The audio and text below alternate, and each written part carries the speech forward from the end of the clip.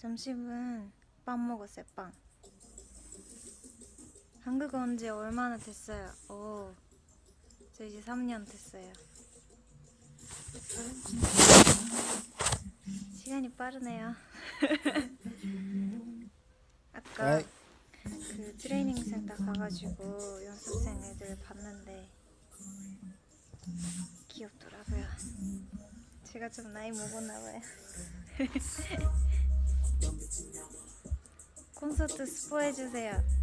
아 이거 어제도 있었는데 안 할래요. 안 돼요. 스포 많이 했을 텐데. 음, 지효가 어제 했던 스포를 그럼 다시 해볼게요.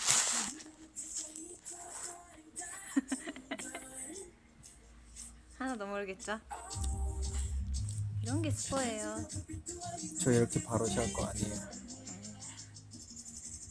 그러면은 어? 콘서트 오셔요? 오세요? 아.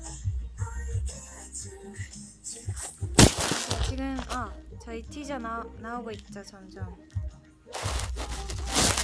봐주세요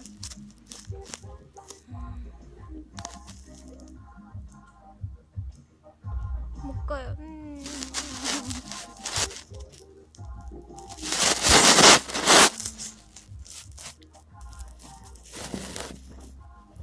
펭귄 많이 보내주셨네 저도 갑니다. 어. 난나. 아, 빨리 보였어. 나도 모르게. 에?